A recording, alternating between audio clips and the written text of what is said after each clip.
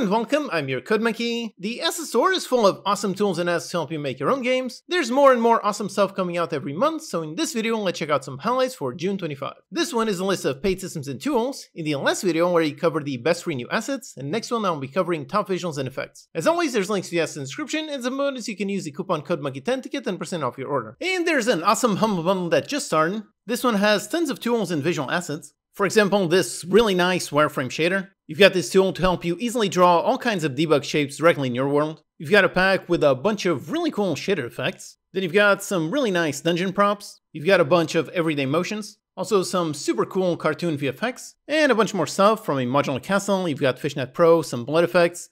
You've got tons of icons, a bunch more characters, sci-fi bosses, dinosaurs, and all kinds of things. As always, if just one of these assets looks interesting, then the Humble bundle is worth it. So check it out with the link in the description. Alright, so starting off with a new version of one of my favorite assets, it's Asset Inventory 3. This one is really awesome. I made a full review video on this asset just a while ago. It is now on version 3, and if you bought version 2 recently, then you should be able to get it for free. It showed up as free for me. Basically, this asset lets you manage all of your assets in one single place. So for example, if you buy assets from the Unity Asset Store, and then some more from the Synty Store, then if you have various Humble bundles or something from Fab, you can put all of those assets you bought in all those stores in just one single place. And then of course you can easily search for everything. So if you need a sword, you just search for a sword and it actually searches inside all the assets. So not just the title, but rather it actually looks at all the contents. And with a single click you can import just that one asset. So you don't have to import the entire package. It grabs literally just that one asset and all of its dependencies. This is really a must-have asset. Personally, I love it and it seems like version 3 has some nice improvements. It has better performance, adds more custom actions, more custom metadata, and tons more stuff. I definitely highly recommend this asset check out my full asset review video on it. Up next, if you want to add some outlines to your game, then this Highlight Plus tool is absolutely excellent. Making good outlines is actually really difficult. There's a lot of weird edge cases, and this asset makes it really easy. And not only is it easy, but it actually looks really good. You've got some super high quality outlines. They are not just the basic expand the object shader. Those are easy to do but look really bad. These outlines look absolutely perfect. And it's actually not just outlines. This tool, you've got all kinds of selection and targeting effects, all of them looking really great. This is very much a complete package for all of your unit selection needs, considering how many games have the player actually select something, like RTS games, simulator games, even action games that use something to highlight ledges and objects. A tool like this can really help make your game much easier to play for your players, just easily highlight all the things you want your player to interact with. And then if you're into statistics, check out this DevTrail tool. This one helps you track your habits so you can basically analyze how you work. This can be an interesting sort of tool. Personally, I use one tool called Rize to track my whole desktop so I can keep track of basically how much I'm working. And with this one, you can keep track of that basically inside of Unity. So keep track of your session length, how long you were focused, as well as some nice fun stats. So you can keep track of how many compilations, how much time spent compiling, how much time looking at domain reload, how many undos, redos, how many play modes, and so on. So you've got lots of nice fun stats. You can keep track of daily or per project or lifetime. This one has lots of fun graphs, and the whole thing is all completely offline. So if you want to analyze how you work, then this asset looks really great. Up next, here's a tool that promises help solve one problem that a lot of people have. It is called the Compilation Accelerator. Honestly, personally, I never really have this issue. Even on large projects, the compilation time usually only takes something like 5 seconds for me, but that's probably because I have a pretty great, very expensive PC. If I had something that took 30 seconds to compile, then I would definitely be annoyed, and there are several ways to try to improve that. First, you can use assembly definitions. I have a lecture on those in my Ultimate Unity overview course, or there are assets like hot reload that compile code on the fly, and this one seems to do basically a different method. This one seems to be more based on caching as much as possible in order to reduce how much you need to compile every single time. Then it's also multi-threaded, it minimizes garbage collection, and does some incremental compilation. So if you have issues with compilation time, then maybe try out this asset. Next, if you do a lot of work with UI Toolkit and you like some super smooth graphics, then look at this tool. This one helps you add SVG support directly into UI Toolkit, meaning instead of rendering your assets using meshes, which always have some jagged edges, instead of that, it just renders these shapes perfectly,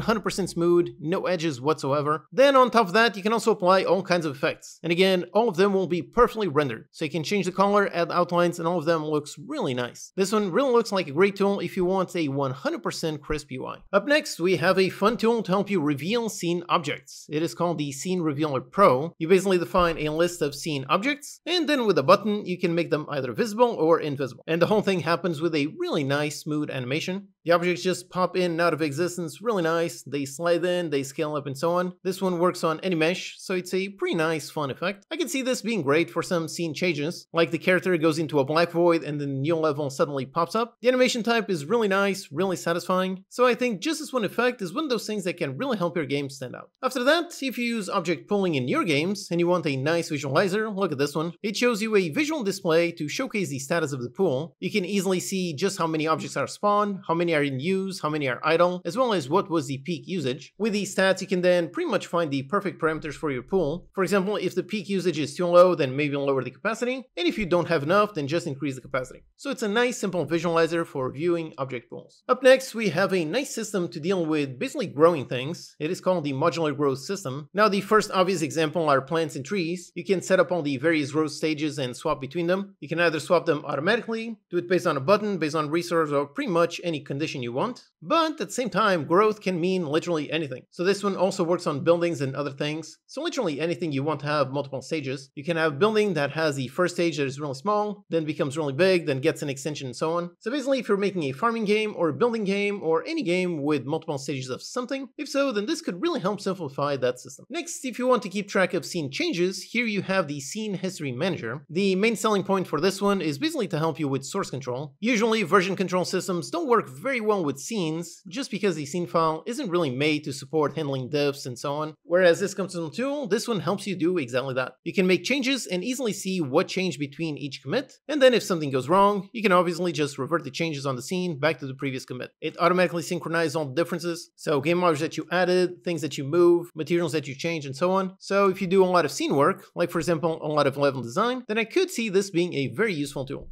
And if you've got any skill or talent trees in your game, then this tool can help you save a ton of time. You define all the various nodes, put them in a skill bank, then just drag and drop them onto a grid. You set up all the connections and how exactly they connect. The whole thing is really versatile, easily set up all the skill requirements, and you can build multiple different skill trees. Either make them all fully visible or revealed over time. Now, many games use skill trees, so if that's your game and you don't want to build one from scratch, then just use this one. Alright, so those are my top 10 new tools and systems on the Unity Asset Store for June 25. There's links all the description description, and as a bonus you can use the coupon code Monkey10 to get 10% off your order. And also check out my own free and on the store. Alright, hope that's useful, check out these videos to learn some more.